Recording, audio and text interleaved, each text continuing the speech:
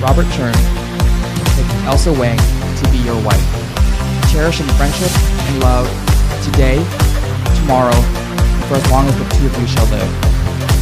I do.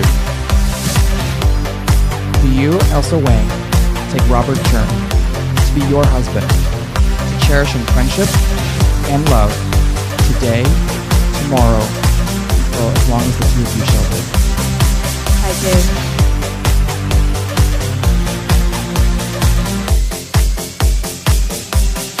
guys have found the joy and the happiness that you know I think some people actually look for for a lifetime.